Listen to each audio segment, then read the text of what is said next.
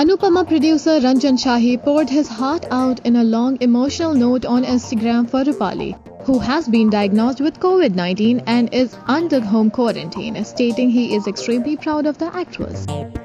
Rajan wrote, Wish you all the happiness, good health, peace, success, and prosperity. Keep on smiling and be happy. Extremely, extremely proud and happy for and with you that today not only you inspire but emotionally connect with so many families who look up to you as a role model in India.